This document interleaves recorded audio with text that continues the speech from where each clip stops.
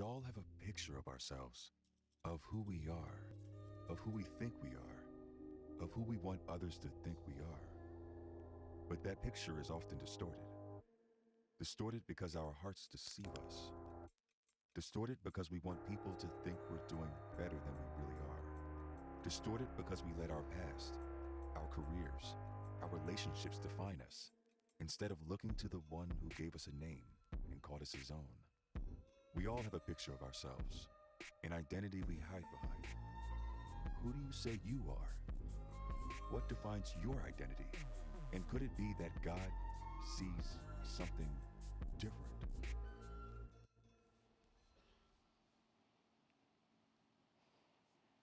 We live in a very performance minded culture, do we not? We want to know that the people in position over us on the org chart have earned that position, that they're not there by accident. We want to know that their title and their pay grade is based on their experience or expertise, not based on who they knew when they were interviewing.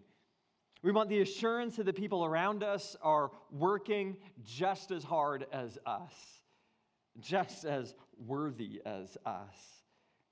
It's why we're so cynical about people who grew up having everything handed to them why we're so cynical about the trust fund baby or the silver spoon in the mouth or the fact that they now run the company because their daddy used to be on the board. We hate those stories. We would much rather relish and celebrate the story of someone who pulled themselves up by their own bootstraps because we live in a performance based culture, constantly wanting people to prove their worth by their work.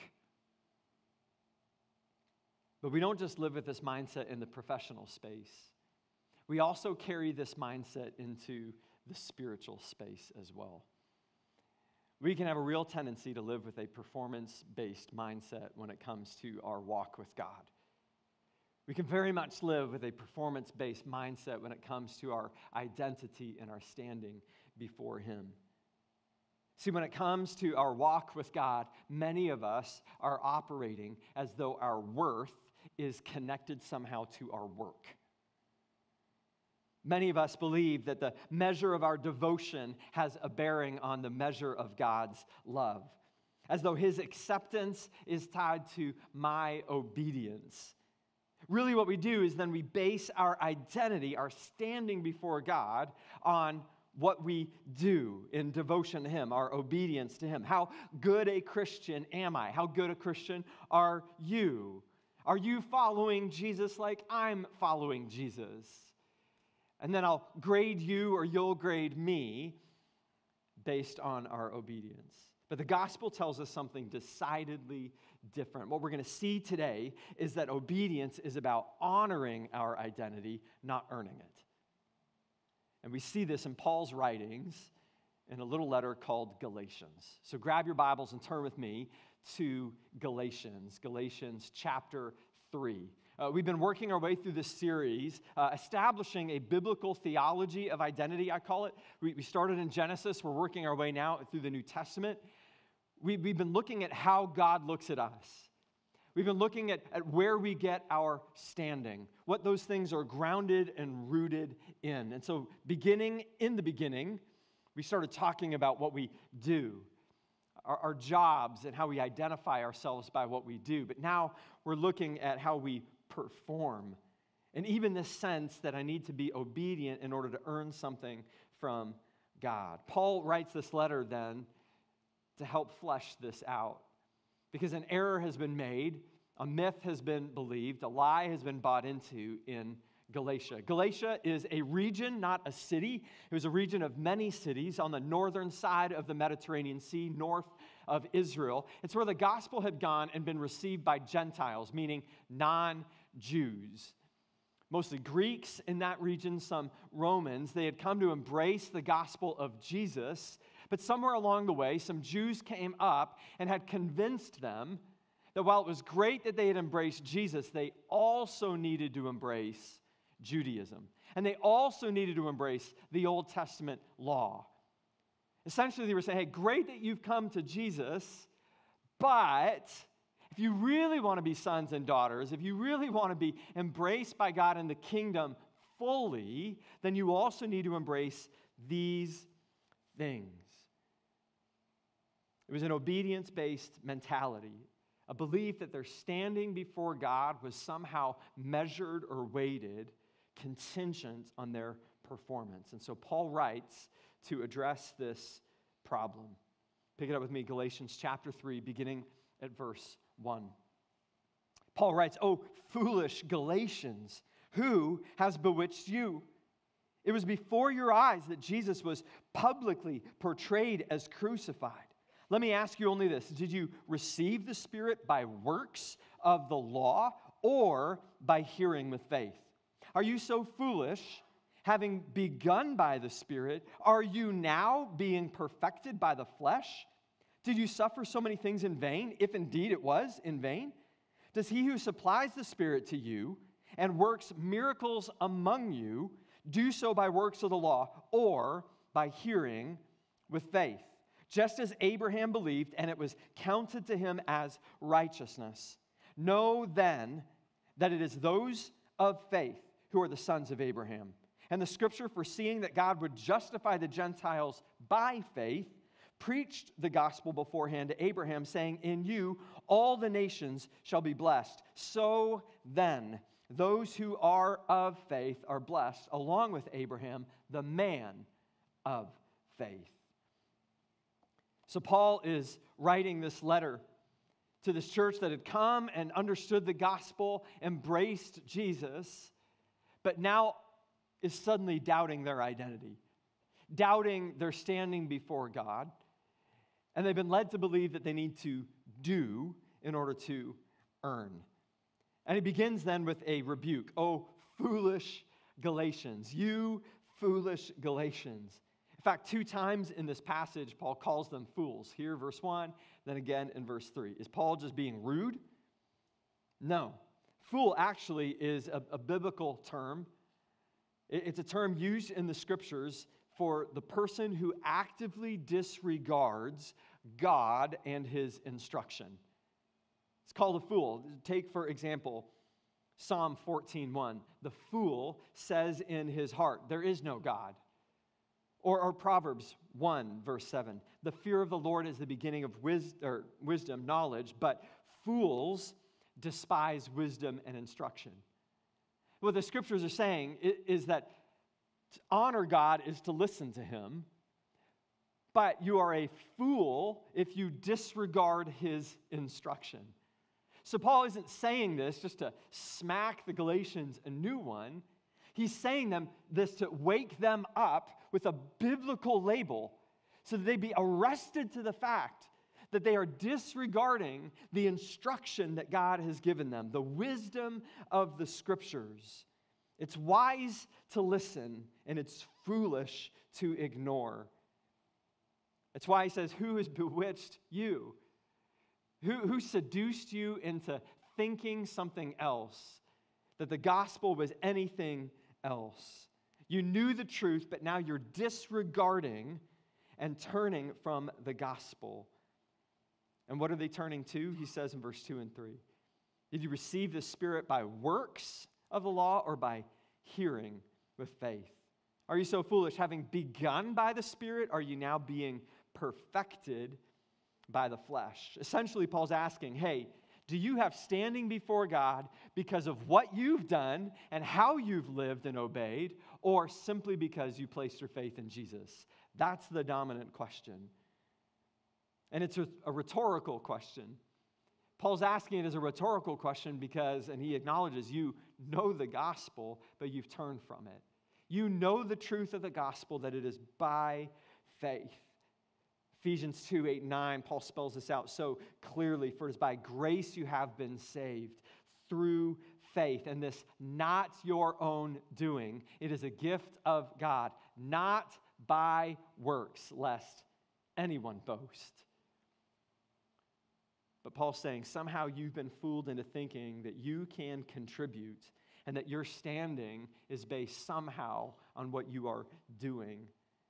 And so he asks that crushing question in verse 3 Having begun by the Spirit, are you now being perfected by the flesh? That word perfected in the Greek means accomplished or, or to be fully completed. What, what Paul is saying is hey, do you actually believe that God, having started this work in your life, grabbed a hold of you by the Spirit, that now you're completing the work by your own hands? Do you actually believe that what was begun by God can be finished by you. Perfected, as though somehow what God did wasn't quite perfect, and He needs your help to get you the rest of the way. And again, he's pressing on this because the Galatians had begun to believe that their obedience kind of helped their standing. Their, their standing before God was nudged along by their obedience now to the law. And it wasn't just a works based gospel. What I want to help you understand today from this scripture is that it's an obedience based identity that they were falling into. I am loved because of what I do, I have standing because of how I have performed. See, here's the thing. Here's the thing. Obedience based identity believes that God's view of me rises or falls based on my obedience. Obedience based identity is this thinking, this line of thinking, that God's view of me, his love for me in any given moment, rises or falls based on my performance, my obedience. That God really loves me today because I woke up early and I didn't yell at the kids, and we made it to church on time. But you know what? Last week, God was angry with me because I didn't really spend much time with Him, and I yelled at the kids, and I was just mad at life. Obedience based identity says that somehow how God views me, my standing before Him, the ground on which I stand, it rises or falls based on what I bring to the table. So the more I obey, the more I am loved. The more I obey, the more God will bless. And when I don't obey, that parking spot doesn't open up. When I don't obey, then man, we struggle financially. When I haven't been walking with God, well, this is why we're having marriage difficulties now. God's just, you know, getting back at me, or God's just mad because I haven't been walking. I sinned last night. Obedience based identity believes then that I am loved or not loved based on what I do or don't do, not because of who I am in Christ. That's why Paul asks, Who has bewitched you? Meaning, who has sucked you in and duped you and pulled you into this train of thought? Because the Galatians in this moment have come to believe that they are second class citizens and riding in first class are all those people who are following all of the law and they're able to follow the law perfectly. And if the Galatians could just follow the law like they follow the law, then they would be as, as loved as the Jews. They would be as beloved. They would be as chosen. They would be like that. We still hear echoes of obedience based identity in the church today. Obedience based identity sounds like this Oh, your church is like that. Oh, your church believes that. But my church, my church believes this. My church has this, and it's so more holy because we have this in our theology. Or, or, or it believes this that God is more pleased with my kind of worship than your kind of worship. You, you sing those kinds of songs, but I sing these kinds of songs. Therefore, God honors my worship more than he honors your worship. When what do the scriptures say about worship and Jesus' own teaching on worship? That our worship is based on spirit and truth, not sound or tempo. But so often, an obedience based identity says, and prides itself in being in some kind of class that is other than someone else based on how I do something in the faith. Obedience based identity says that if you read the Bible through in an entire year, you'll have greater standing with Jesus than if you fall short. Obedience based identity is constantly looking to earn a little bit more. It's an identity then that ultimately trusts more in our own work than it does in Jesus' work. So, what does Paul do? Paul corrects not just their view of the gospel, but he ties it back to their identity in Christ. Listen again to what he says, verses 7 through 9. Know then that it is those of faith who are the sons of Abraham. And the scripture foreseeing that God would justify the Gentiles by faith preached the gospel beforehand to Abraham, saying, In you shall all the nations be blessed. So then, those who are of faith are blessed along with Abraham, the man of faith. If you're a note taker, a highlighter, please note how many times now he is pointing back to faith in this passage above and over obedience or works. Paul's reminding the Galatians that the gospel has an identity for them that is independent of works. He says right there in verse 7 it is those of faith who are what? Sons. Sons is an identity label, not a performance label. Sons and daughters is an identity label. It is a gift to you, not based on your performance. My children do not have to earn the title of son or daughter. My son didn't earn that title because he beat out all the other kids in the nursery. In fact, quite the opposite. What do we tell our children all of the time? Right? That I love you no matter what. That you can't change that. You can be mad at me, you can slam the door at me, you can run off and tell me that you hate me, but it doesn't change my love for you. See, sonship, daughtership in the kingdom is an identity that is given, not earned. And it's by faith that we become sons and daughters. I love the way that Timothy Keller so simply puts it. Timothy Keller, parsing out this and parsing out culture, says religion says my identity is built on being a good person, whereas the gospel says my identity is not built on my record, but on Christ's. The gospel says my identity, standing son, daughter, is based not on my record, not on my performance, not on how I've done, but rather on what Jesus has done for me. Period. End of sentence.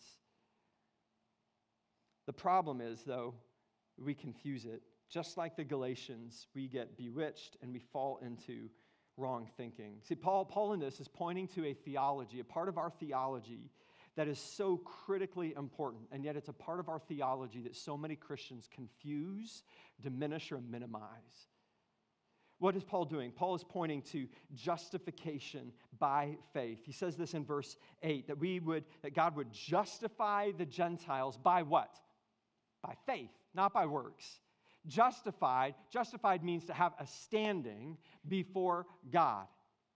Means to make right. You may have a footnote in your translation. If you look down at the bottom of the page, you may have a footnote that says to declare right or righteous. That's what justified means. That because of your faith in Jesus, you are declared right or declared righteous by God. Meaning, you are complete, you are perfect, nothing more is needed. The problem is, many of us don't live like nothing more is needed. The problem is, many of us don't live as though we are complete and Jesus has done all of the work. And this is borne out even in how we talk about the gospel and the analogies that we use in speaking about the gospel. See, when we speak about the gospel, we'll often tell people, and it is an image from Scripture, but we hold it incompletely.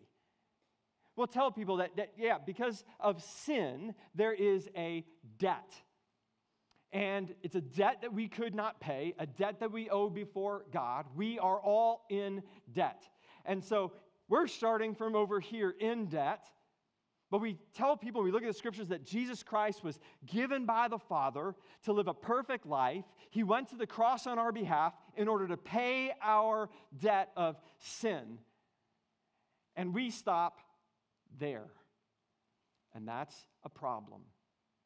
It's a problem then because in our thinking with debt, when we have a credit card paid off, we think of debt and speak of debt, and so often then think of our spirituality as being this thing where Jesus has just gotten us back to zero. When you pay off that car, when you pay off that mortgage, when you scream, I'm debt free, Dave Ramsey fans out there, you think of debt from the standpoint of being back to zero. I was in the hole, and now I am out of the hole. But from that point, then we're like, now we got to start saving money. Now we got to start saving for college. Now we got to save for retirement. So we view debt as this zero sum thing that Jesus just gets us back to zero. And we then come into our spirituality thinking then that because Jesus has paid our debt, we are now morally neutral before God. Wrong thinking. Jesus didn't pay our debt so that we might be morally neutral, back to zero, and then somehow work and earn to gain favor and standing before God. No, what the scriptures actually say and what the gospel preaches is that Jesus not only paid our debt, but then he imputed on us his righteousness. Imputed, meaning he gave to us all of his righteousness while he took on himself all of our sin and our debt. Therefore, because we have all of his righteousness, we're not just back to a morally neutral zero, we have become and we have been given the riches of glory. You didn't just get out of debt you became a millionaire in Jesus Christ. You didn't just get out of debt, you have been given glory. You have been made co heirs with Jesus Christ. There is nothing that you lack because you have been granted so much more than you could ever have given to yourself. The gospel is that there is a fullness of righteousness granted to you. And what the Spirit began, God is not waiting on you to complete and finish. You are perfect and complete, lacking in nothing, the scriptures say, because of Jesus. This is a gospel identity. And the problem is, we often think that we have to help get us just a little bit further. It's legalism. Legalism says and believes this legalism is the belief that we can make ourselves acceptable to God through our obedience to the rules. Legalism says, I'm a better Christian than you because of what I do. But Paul says that's a misnomer. That is a wrong label, an inaccurate designation because our standing before God is not improved by our effort. Our standing before God is guaranteed based on Christ's effort. Now, some of you are super nervous right now. Because if this is true, am I just leaving the door open that we don't have to obey? I mean, hurry up, Drew, close that door before someone runs through it and thinks that they can just live however they want. They can just do however they want. Does this mean that obedience doesn't play a role in the Christian life? Absolutely not. That is not what I am saying, and that is not what the scriptures say. The scriptures absolutely call us to honor God, to walk in a manner worthy Jesus calls us and gives us a command that we are to accomplish here on earth. So, what is the role and the point and the purpose of obedience then? Look with me at Romans chapter 12, verse 1 and 2, because Paul makes this really clear in Romans 12, 1 and 2. Paul writes this, and we'll put it on the screen so you can follow along. Paul says this I appeal to you, therefore 4, brothers, by the mercies of God, to present your bodies as a living sacrifice, holy and acceptable to God, which is your spiritual worship. Do not be conformed to this world, but be transformed by the renewal of your mind, that by testing you may discern what is the will of God, what is good and acceptable and perfect. Paul in the book of Romans, which we looked at recently, spelled out the gospel for us that we're all in sin, we are all in need of Jesus Christ's perfect sacrifice. We can't make it on our own, and it is by grace through faith then that we are saved. But then he calls us to live in such a way. I appeal to you, therefore, I want you to live towards the mercies. I want you to present yourselves to God. Why? I want you to present your yourself to God because it is your spiritual worship, he says. Presenting ourselves to God is about spiritual worship. It means that when we present ourselves to God and we seek to honor Him with our lives, it is about gratitude. If you take anything away from the sermon this weekend, I want you to take away this this one thing. This one thing. Obedience, then, is about honoring your identity, not earning it. Obedience is about honoring your identity, not earning it that we follow Jesus, we walk in his ways, we walk according to what he has called and modeled for us, not to earn standing or favor, to try to shake another yes from the prayer tree. God, please answer this prayer. Have I done enough? No, we honor him because of what he has already given us in Jesus because we who were destitute and deserving of nothing have been given everything. Because we who were far off have been brought near and made sons and daughters. Because our sins have been washed away and removed as far as east is from the west.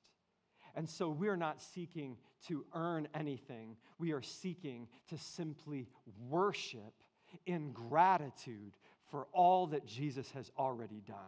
And worship, then, in this context, is about how you live, not just a few songs that you sing.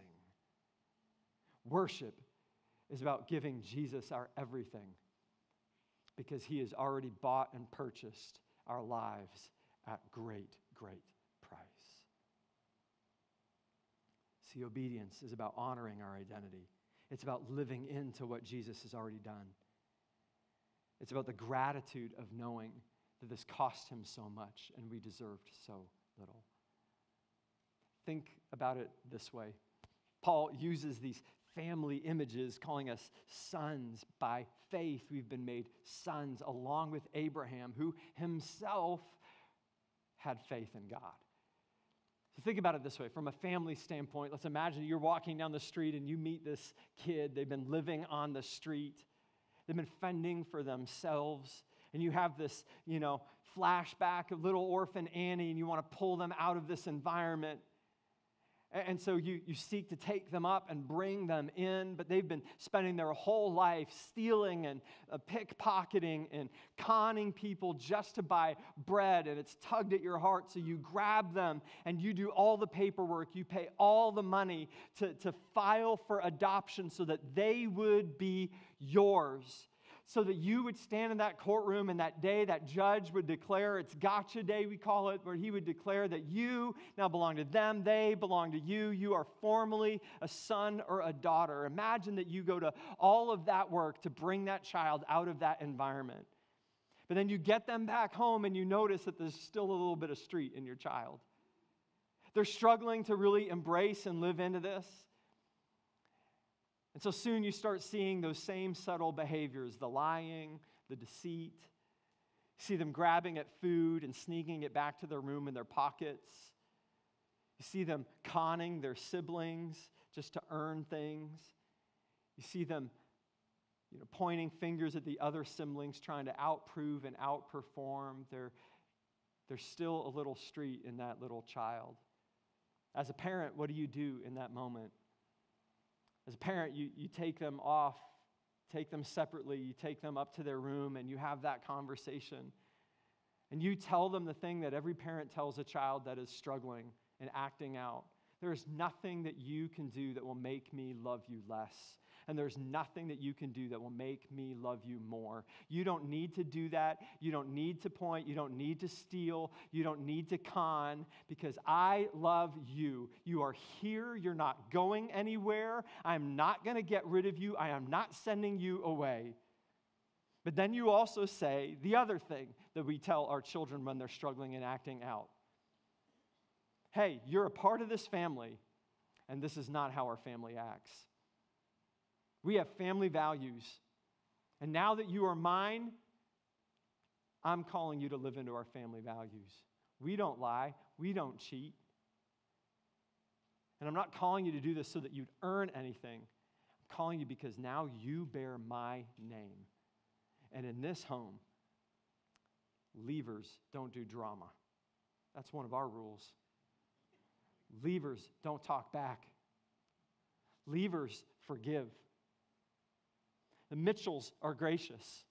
The Smiths are kind.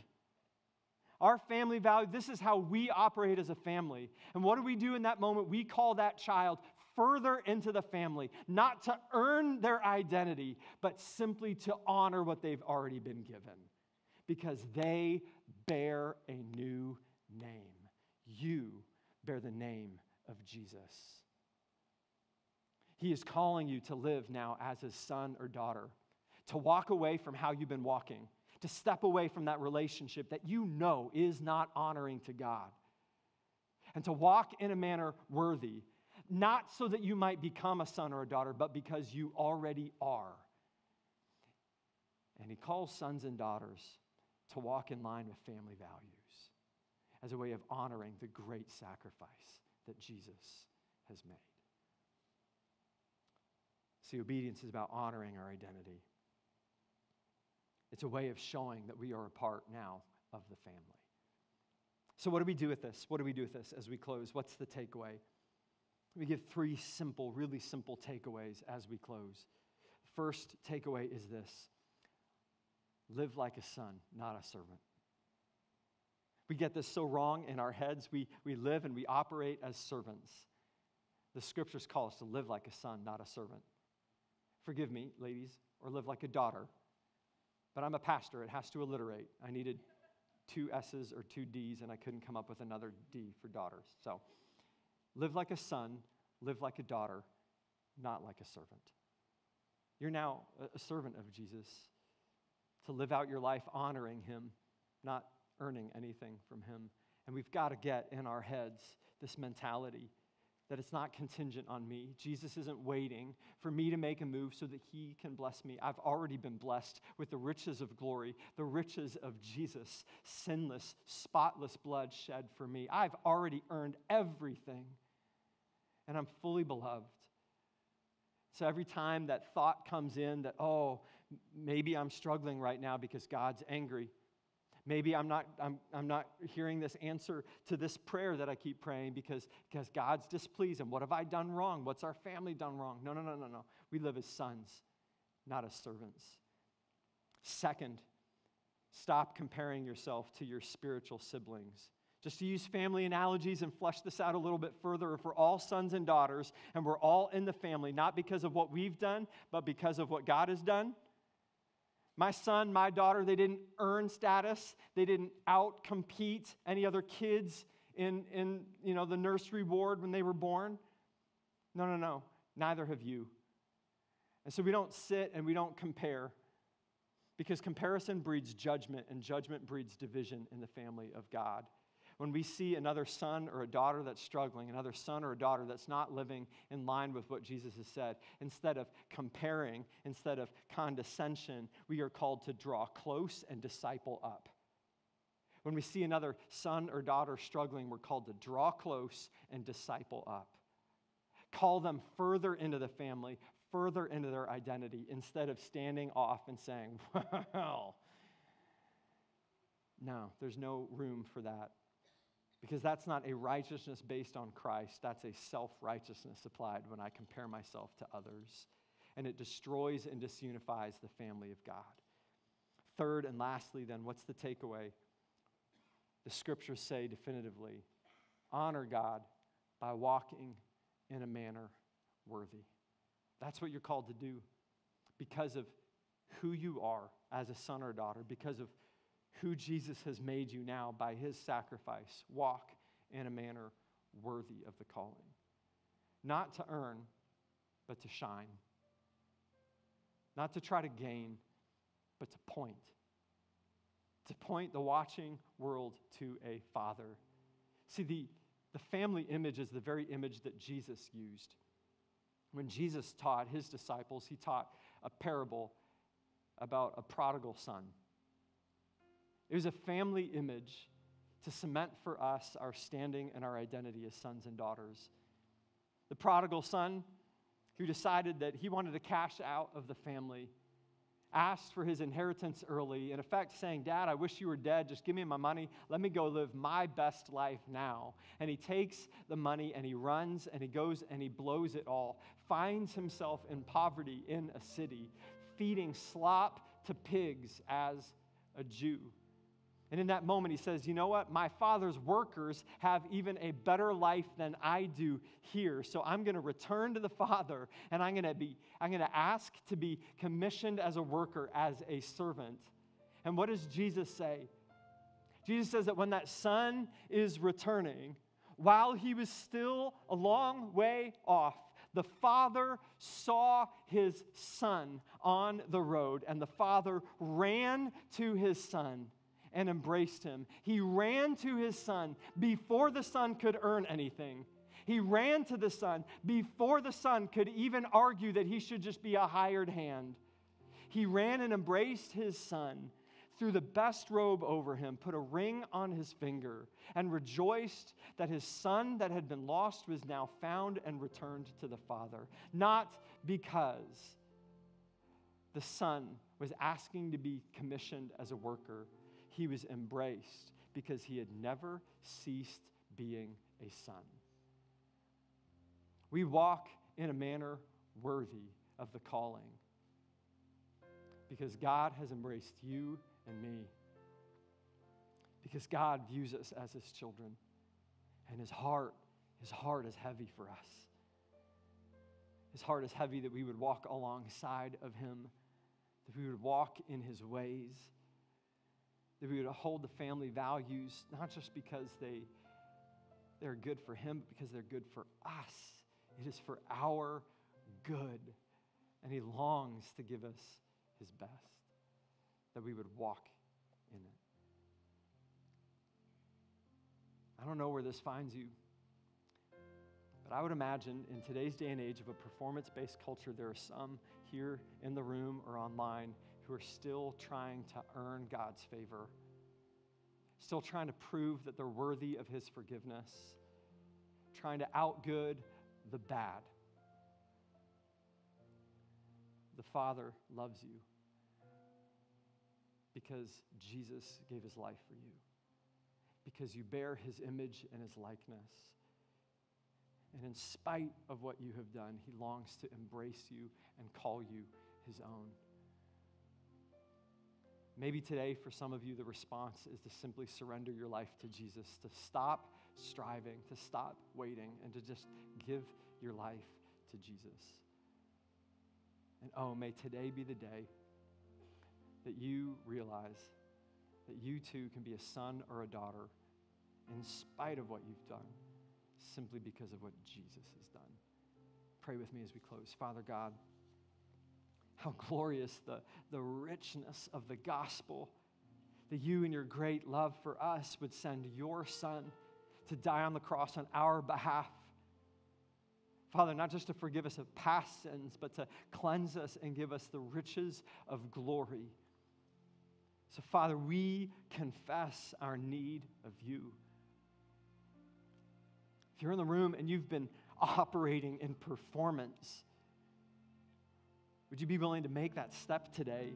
Confess your need of Him. The scriptures say that when we confess our sin, He is faithful and just to forgive us of all unrighteousness. Would you begin right there by simply confessing? Father, I confess my sin. I confess my need of you. I confess my striving and my failing. And I confess, God, I need your perfection, the perfection of Jesus applied to me. Lord, would you forgive me? And would you teach me to walk in a way that is worthy of all that you have done for me? Lord, that others might see my life but know your name. That they might see what you have done and come to understand that you are a good and gracious Father. So, Lord, forgive us for striving. Forgive us for thinking too much of ourselves and not enough of Jesus and the cross. Forgive us. And teach us, Father, to walk as an act of worship. We ask it in Jesus' matchless name. Amen.